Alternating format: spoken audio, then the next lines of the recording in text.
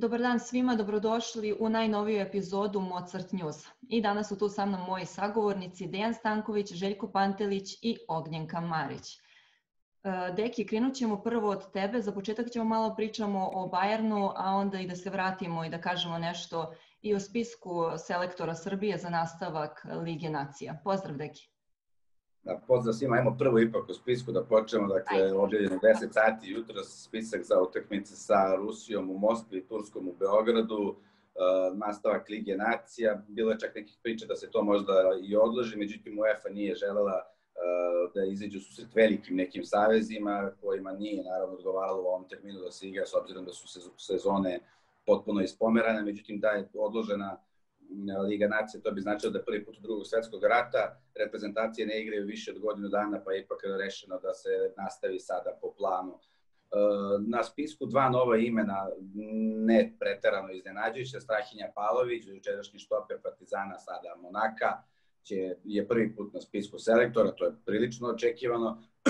tu je i Dušan Vlahović kao napadač i to nije neko posebno izneđenje, on tu opigrava oko reprezentacije već neko vreme dve zanimljive stvari koje možemo da kažemo, uh, tri, možda nije ni bitno. Prva stvar je da, da osim Đorđa Despotovića koji igra u Rusiji, svi dolaze na pripreme sa odmora ili sa početka priprema. Redko ko da je čak uhvatio neki zalet kao što je recimo Dušan Tadić, Nemanja Matić, recimo znamo da je tek završio sezonu, znači on je na odmoru bukvalno i to će biti veliki problem za razliku od Rusa kojima je prvenstvo u toku, srpski futboleri će biti poprilično onako nategnuti pošto imamo malo stariju ekipu, deo igrača je stariji, čak se malo onako pribojavaju nekih njihovih uh, povreda, s obzirom da neće biti u full spremi. Uh, drugi paradoks je recimo taj što imamo pet zadnjih veznih, Saša Lukić, Marko Grujić koji se vraća u reprezentaciju, to smo prvi pisali pre dva dana i pričali smo ovde. Uh, Nemanja Matić, Gudelj i Maksimović iz Hetafea.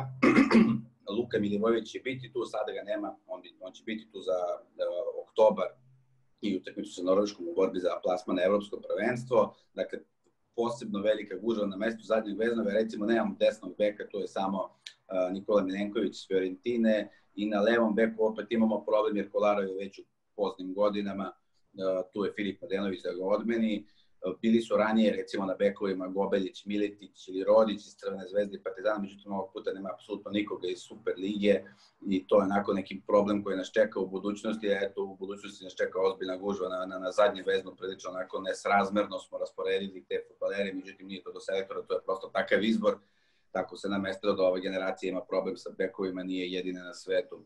E, što se tiče drugih vesti Srbije, da pomenemo kratko da se piše lagano o tome da, bi, da se razmišlja o Nikoli Ninkoviću i Partizanu, ali to na dugačkom štapu, pre svega jer on čeka neku ponudu iz serije A, razmišlja se poneviše, o, to je spominjala se najviše po italijanskim medijama Verona, dok je Partizan prebukiran napred, ali ako bi neko otišao od ofanzivnih igrača, onda bi možda mogli da se okrenu Ninkoviću i ako bi neko otišao, taj bi neko morao da donese pare u klub, jer Ninković bi koštao prema nekim informacijama od e, januara 2 miliona evra, to je novac koji Partizan trenutno sigurno neće dati Dakle, to je sve nekako na dugačnom štapu kao neka od opcija eventualna ili potencijalna za, za nastavak prelaznog roka.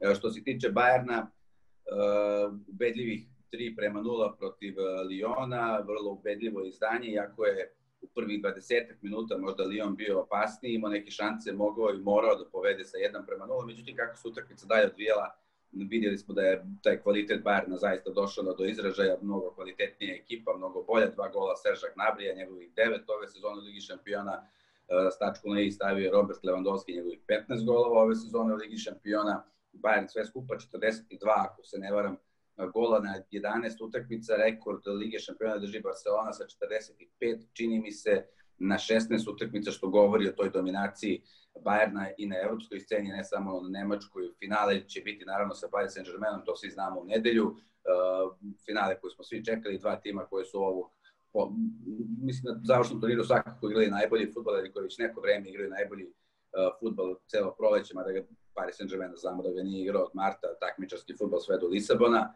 ali jesu dva, dva, dva onako strašna tima i vrlo me zanima ovaj, kako će to da izgleda, uopšte ne mogu da pretpostavim na koju stranu će da ode. Uh, utakmica Bayern Lyon se pratila dosta i u Srbiji, ne samo u Srbiji, nego u pola Evrope, zato što uh, to što Lyon neće osvojiti Ligu šampiona znači da do, do će biti dosta pomeranja u kvalifikacijama za sledeću sezonu. Ajax recimo ide direktno u grupnu fazu Lige šampiona, Olimpijakos i Slavija iz Praga preskaču treće kola kvalifikacije, igraju direktno uh, play-off. A to dalje znači da je Crvena zvezda nosilac u trećem kolu kvalifikacija za Ligu šampiona, biće nosilac ako u drugom kolu pobedi Tiranu, to je sada definitivno Tirana juče izbacila Dinamo iz Tbilisi, uh, Tbilisija sa 2 prema 0, Uh, nabila se golman u naručju 20 metara, čekala šansu na kontri i pokazala da može da bude kako opasna jer je brza u toj nekoj tranziciji, tako da Zvezda očekuje onako malo, to je malo mnogo teži izazov u Tirani nego što je bio ovaj sa Evropom u Beogradu, ali ako ne bude iznenađenja, ja sam rekao da će ih ove sezone sigurno biti u kvalifikacijama zbog toga što se odlučuju 90 minuta, ali nadam se da neće biti na utakmici Crvene zvezde. Ako ne bude iznenađenja, Crvena zvezda ide u treće kolo kvalifikacija, to je dalje onda si nosilac. Možeš do četvrtog kola ako i ispadneš tu ideš u grupnu fazu Lige Evrope i to je ono čemu smo pričali da, da, da Crvenoj zvezdi verovatno ne bi smetalo da ove, ove jeseni igra Ligu Evrope, jer smo videli da je Liga šampiona ipak neki nivo koji je prilično odskače od ovog našeg srpskog superligaškog. Toliko od mene. Tačno, mi navijamo naravno za zvezdu, držimo palčeve. A ono sad što je glavno je finale Lige Evrope gde se sastaju Inter i Sevilla, sutra se igra, tako da mi idemo polako u Italiju, dakle nam se javlja Željko i verujem da se na Apeninima podgreva atmosfera zbog e, Intera posebno tamo. Naravno, Željko, reci nam nešto više o tome, kakve su prognoze, to za koga navijaš, što ne moram da te pitam. Ćao, Saro. Pozdrav svima. Pa ništa, ja ti odmah pokazujem prvu stranu Gazete dello Sport, Interminator, kovanica između Terminatora Arnolda Schwarzeneggera i Lukakua, za koga je zainteresovan Real Madrid, barem tako pišu italijanske novine, ali je Inter odgovorio ne, a kako bi drugačije mogao da odgovori budući da je Lukaku nazvan Interminator zbog toga što je odigrao 50 od 53 utakmice Intera, najviše utakmica ove sezoni je upravo odigrao on, a kada bi računali minute provedene na terenu, samo je Handanović proveo više od njega i to dovoljno govori koliko je Lukaku fundamentalan igrač za Antonija Contea. U Milanu, kao i u celoj Italiji, vlada veliki optimizam pred ovaj meč da će italijanski futbal konačno osvojiti jedini trofej koji mu nedostaje u njegovoj istoriji, a to je Liga Evrope. Naravno, niko ne zaboravlja da je Sevilla, možemo da tako kažemo, kralj ove, ovog natjecanja zbog toga što je ona pet puta bila već osvajač Lige Evrope i zna kako se to radi, a pogotovo Monči koji se vratio u Sevilju i e, ponovo predvodi svoj tim u šestom finalu. Izvini, S druge strane... Ja sam juče u intervju rekla da je Sevilla šesti put prvak Lige Evrope. I sam rekla kao izvinjavam se navijačima ako sam pogrešila, tako da možda neko predviđanje moje da će možda Sevilla stvarno biti šesti put.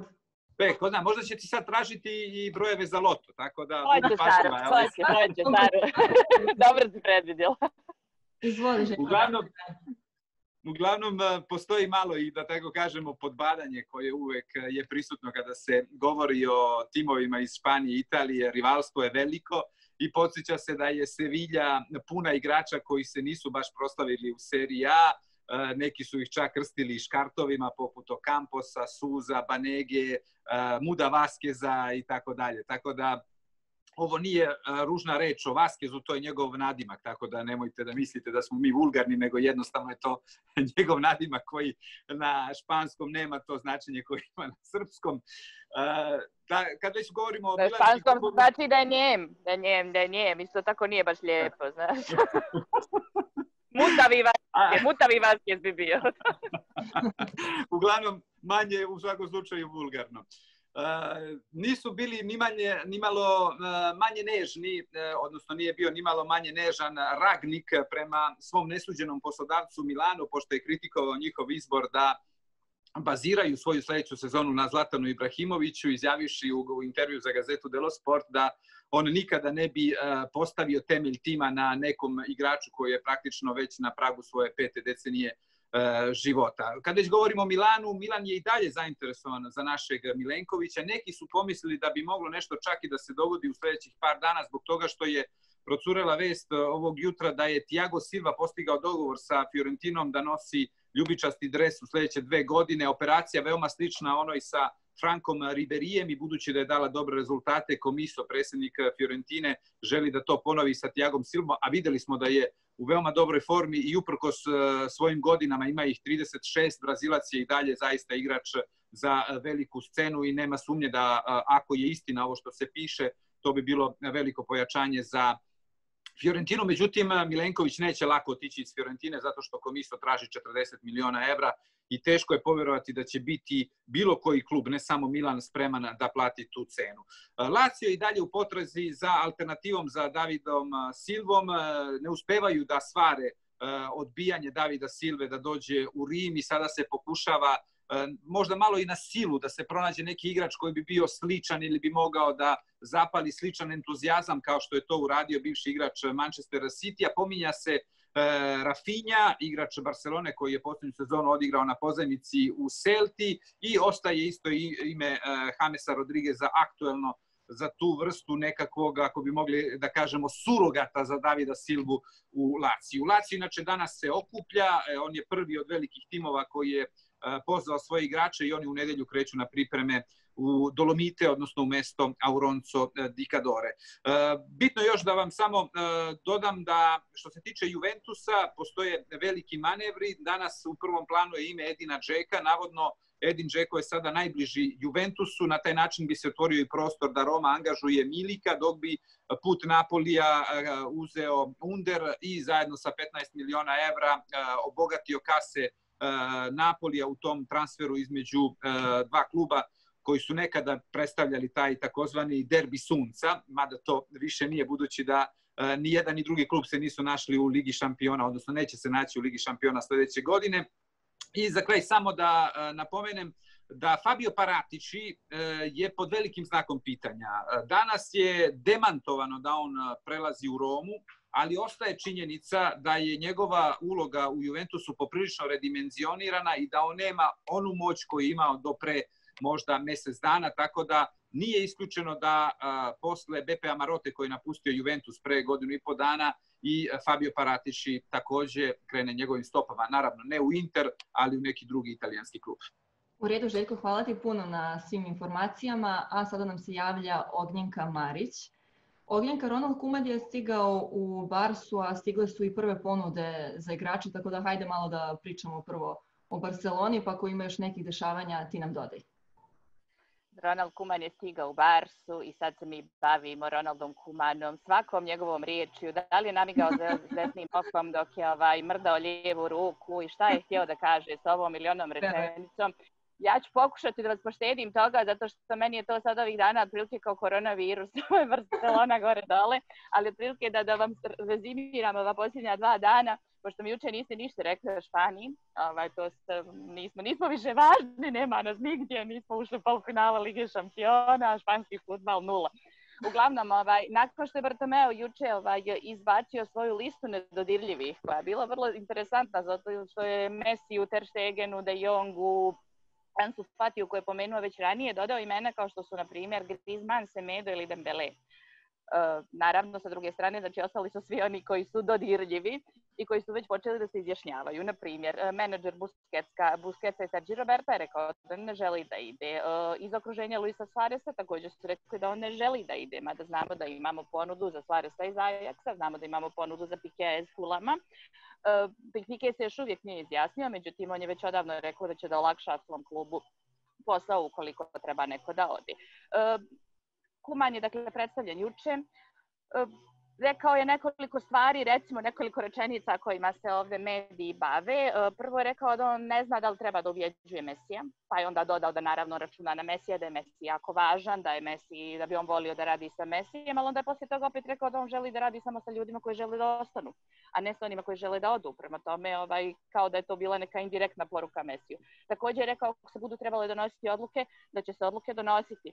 I mi ovde recimo u Španskoj ligi imamo e, iskustvo sa Kumanom iz Valencije. E, Kuman je recimo imena kao što su Albelda i Canyisares e, ne samo uklonio iz tima, već im nije dozvoljavao ni da treniraju sa prvim timom. I u to vrijeme ovaj, ovi igrači su davali izuzetno teške izjave čak je Albelda u 2014. rekao da Bog da vam Kuman došao u Barcelonu da se malo uravnoteži ova liga. A Kanjisaris je rekao da je Kuman došao u Valenciju u ekipu koja bi imala male probleme i onda je potpuno rasturio. Tako da ovaj, sposobnost Kumana da riješi probleme sa ovaj, prelazom generacije se apsolutno ovaj, ne, ne dovode se u pitanje. Poslije toga, znači rekao je da treba nekih pet ili šest pojačanja. Smatra se da će biti vjerovatno to opet Eric Garcia, opet i na tapetu Lautaro Martinez i uh, Van de Beek iz Ajaxa. Uh, je pominjao Coutinja, rekao je da ovaj, treba vidjeti, treba pratiti Coutinja, inače ovaj, ovdje su prenijeli mnogi izjavu Millera koji je rekao da im je trener rekao da Barcelona daju samo šest golova, ali Coutinho bio u WC u tom trenutku, nije čuo pa je ubacio još dva. E, uglavnom javio se Viktor Font, kandidat e, za predsjednika Barcelone sljedeće godine. On je rekao da nije baš toliko bio izričit u izjavama prije nekoliko dana da Kuman će otići ako on dođe kao predsjednik, mada on ovaj, računa na Šavija u principu, ali treba će da se vidi. Naravno, podvukao je da promjena trenera u Barceloni ništa ništa ne znači da je Barceloni jednostavno ovaj, potrebna jedna restrukturacija. E, znamo, to je također jučerašnja vijest da je smijenjen Erika Vidal, e, na njegovo mjesto je došao Ramon Planes koji je već e, radio kao njegov savjetnik i zamjenik. Danas će biti predstavljen Pedri. Znamo da je Ter Stegen povrijeđeno, ima povrijeđeno koljeno koje treba da operiše i neće biti do, na raspolaganju treneru dva i pol mjeseca. I znamo da je Ansu Fati promijenio menadžera. Menadžer mu inače bio Mesijev brat, i sada je prešao kod Jorge Mendes. Ne znamo da li to ima neko značenje transcendentalno, ali ovaj, dešava se. Što se tiče Sevilje, ostavit ću vam Sevilju za sutra, pošto je sutra interesantnije, dosta se priča o tome, ali tako, Sevilja voli da je daje izjave tipa Inter je mnogo skuplji tip od dna, tim od nas, to su stari trikovi, mi smo ovaj, um, siromašni tim, nismo nikako, nimalo opasni i tako dalje. E, ja se zaista nadam dobro... Kaže, evo, Željko će da se uključi. Vidim da... Reci, Željko, reci, reci, Kao, ne, to mi je podsjetilo na Kalimera, onaj crteni film, ono crno pače, ja sam mali, ružan, nikome ne voli, ceo svet je nepravedan i tako dalje. Pa da, ali dobro, Sevilje to neće uspjeti, mislim, jer imamo tih pet ovaj, trofeja i šesti koji je na, na putu, na putu. Ja se zaista nadam, ali ono što je meni stvarno drago, ovaj, u oba... Sara Dixit, Sara Dixit. Sara Dixit pobjedio je futbal, nekako to je moj osjećaj, ne znam da li je i vaš, ali mislim da će oba ova finala biti sjajne utakmice, bez obzira ko, ko igra, mislim da će biti jako, jako dobre utakmice, da ćemo zaista uživati u futbalu, što je meni vrlo drago. Zatim, e, istina je da se Real Madrid interesuje za Lukaku, a to su danas objavili i španski mediji, tako mogu da ti ovaj potvrdim to, Željko.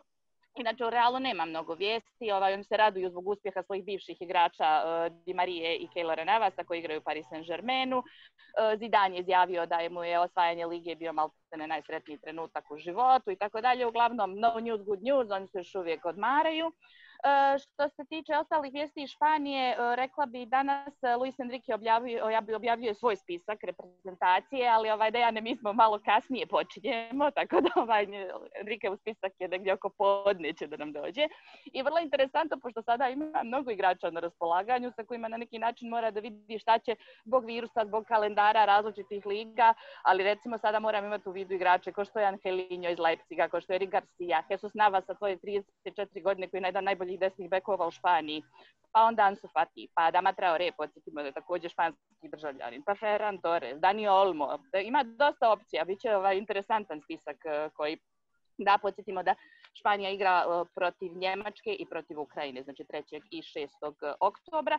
I uh, ništa, još posebno recimo da je Jimenez jako lijepo govorio o Lampardu. Rekao je da mu se jako sviđao Lampard kao igrač i da bi volio da je mogao u tom trenutku igrati za Chelsea ovaj, sa Lampardom, ne znamo šta, to, šta je to, i da se danas igra finale ulaska za ovu posljednju ovaj, ekipu koja ulazi u prvu ligu, El Girona, večera su 10, i da se tu nastavljaju tužbe. Predsjednik Futbolskog saveza je sada tužio predsjednika Labrade zbog klevete, e, kapiten Deportiva je tužio policiju zbog toga što ga je privala da bi dao izjavu i tako, to, to, to se neće završiti nikada, ali više nema toliko prostora u medijima.